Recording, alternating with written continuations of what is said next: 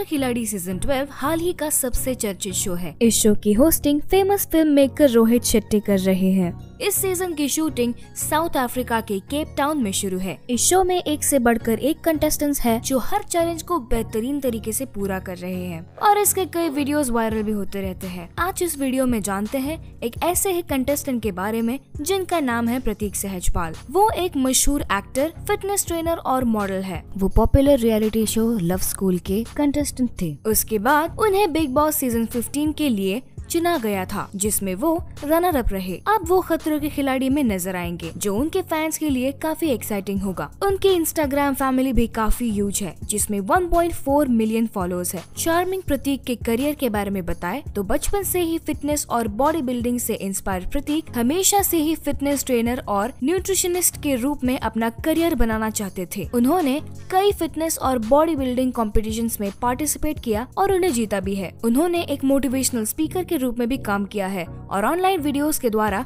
लोगों को इंस्पायर किया है। यही नहीं जी एम न्यूट्रिशन से दूसरों को फिटनेस ट्रेनिंग भी दी है।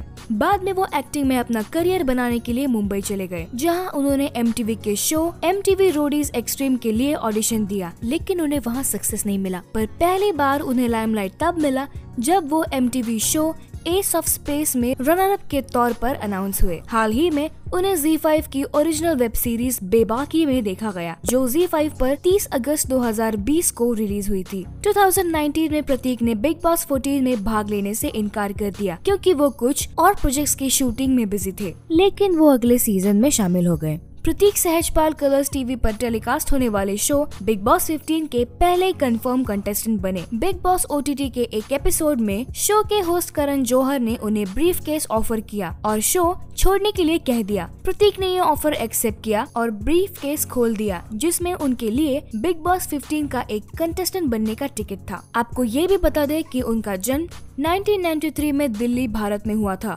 प्रतीक सहजपाल ने दिल्ली, भारत में एम लॉ स्कूल में पढ़ाई की, जहाँ उन्होंने लॉ में ग्रेजुएशन किया। प्रतीक सहजपाल छह अलग अलग भाषा, जैसे Hindi, English, Punjabi, Spanish, French और हरियाणवी में भी बात कर सकते हैं। उनके लव लाइफ की बात करें तो एक्ट्रेस पवित्रा पूनिया, उनकी गर्लफ्रेंड होने के चर्चे इंटरनेट पर मशहूर थे। प्रतीक की एक कंट्रोवर्सी के बारे में भी आपको बता दे। बिग बॉस ओटीटी हाउस में Indian playback singer Neha Bhasin के साथ उनकी क्लोजनेस को नेटिजन्स ने काफ़ी क्रिटिसाइज किया था और लोगों ने नेहा और उनके पति को सोशल मीडिया पर काफ़ी ट्रोल किया था। तो ये थी प्रतीक सहजपाल की कहानी। ऐसे ही अगली एक कहानी लेकर हम आपके सामने हाजिर होंगे। इसीलिए इस चैनल को सब्सक्राइब कीजिए और मिलते हैं अगली वीडियो में। और हाँ बेल आइकन को हिट करना ना भूले।